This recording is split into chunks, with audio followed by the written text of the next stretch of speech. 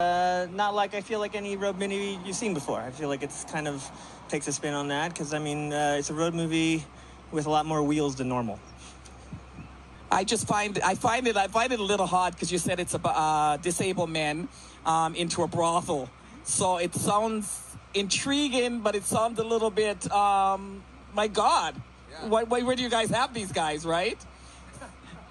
In a brothel, doing what? But it's gonna be an amazing. It's also about. I mean, it's like it sounds kind of out there and, and raunchy, but it's it's really sweet and heart you know, and uplifting and heartwarming, and you know, it kind of has that. You know, it's a, as as we say, it's like a difficult storyline to to try and market, but yeah, difficult log line to try and get people in, but at the same time, it's it's really special. You'll see. I don't know. You'll Yeah, see. it's- i- in the end, it's, in the end, it's a movie about relationships and about growing up and about coming of age and about things that we all experience um, and things that I think we just take for granted. Wishes to and we do in life take a lot of things for granted. So this will be amazing. We'll talk a little bit about it. Tell us a little bit more about your cast because you've got a few people in there. yeah You tell me. You tell me. Uh, the cast is great. Uh, there's no movie with a bad cast, or no good movie with a bad cast. So, um, you know, uh, I don't know what to say about the cast other than that uh, everyone's great, and uh, they, you know, they did everything.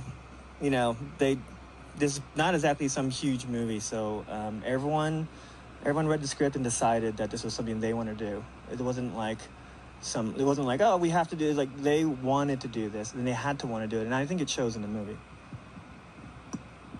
Documentaries can be good without cast. I, what I'm saying is that you can't have, you cannot have a good movie No, with a bad cast. All right. So you said you had Precious in there. You had some great names. Can we get a little bit of the great names that you had in there? Uh, so we have uh, Hayden Szeto from The Edge of 17 um, and Truth or Dare. We have uh, Ravi Patel from Meet the Patels and Long Shot. Um, we have, uh, so yeah, Gabourey from, from Precious and Empire and a laundry list of other amazing things. Janeane Garofalo from Wet Hot American Summer and Reality Bites and all kinds of stuff over 30 years. Um, and C.S. Lee uh, from, uh, from Dexter and a bunch of other great stuff. Stan Rosenmeyer. Oh, yeah.